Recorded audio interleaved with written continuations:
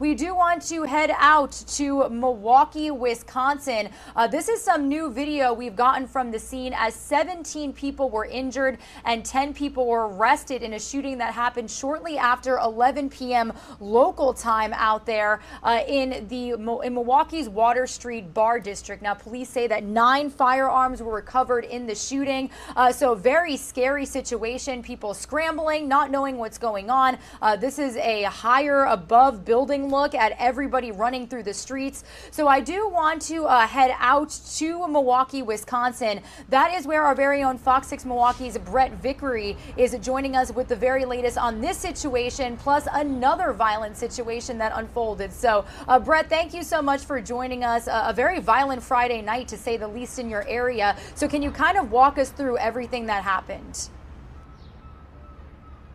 Absolutely, Regina. Good morning. It, it, the only thing, the words I have is this be, saying it's a bummer is really an understatement because people here were gathered to watch the Milwaukee Bucks play the Boston Celtics in game six of the NBA playoffs here tonight. And here in Milwaukee, we have our, we have a target on our back being the reigning champion. So being here in the Deer District area near Fiserv Forum where the Bucks play is a really big deal and we have really big watch parties every single time that the Bucks play. So the incident that you're talking about with the 17 vic shooting victims, that happened near Water Street, which is a really big area down here where there's bars, there's restaurants, lots of places for entertainment and a great place to watch a ball game. And we're still waiting to hear from police as far as what led up to that shooting like you said, nine firearms were recovered from that area. And so it was just a lot, a lot of chaos, like you mentioned, like I'm sure you saw in that video.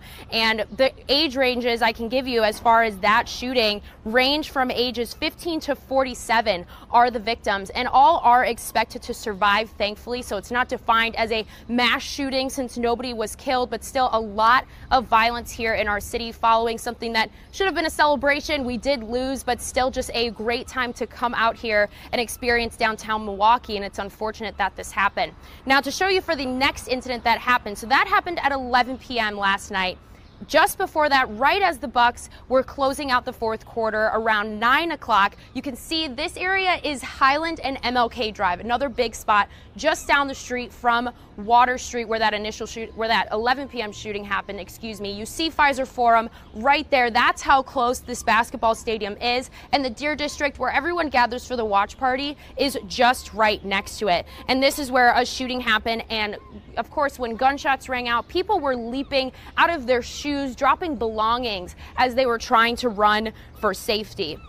Now, the Bucks say by their count, 11,000 people were inside of the Deer District. There were metal detectors that people had to walk through in order to get in. Only small wallets were allowed in. So 11,000 capacity just in that area. But in the surrounding bars, hundreds more people were in this area when this shooting happened. The people that were shot in the shooting here off of Highland and MLK were two 20-year-old men and a 16-year-old girl. The police do have a 19-year-old man in custody in regards to that shooting. But this nine o'clock shooting and then the one at 11 o'clock just down the street. I mean, just to find, we were already down because of the loss uh, against the Celtics, and then this just tragic incident happened. I spoke to witnesses this morning who they came back and they were looking for lost glasses, their phones, even like I said, shoes were everywhere as people were running from with all of this chaos going on. And so people were really trying to figure out what was going on. They came back to the scene looking for things. I spoke to them and they said, you know, the security was questionable. We're still waiting, waiting to hear back from the Bucks as far as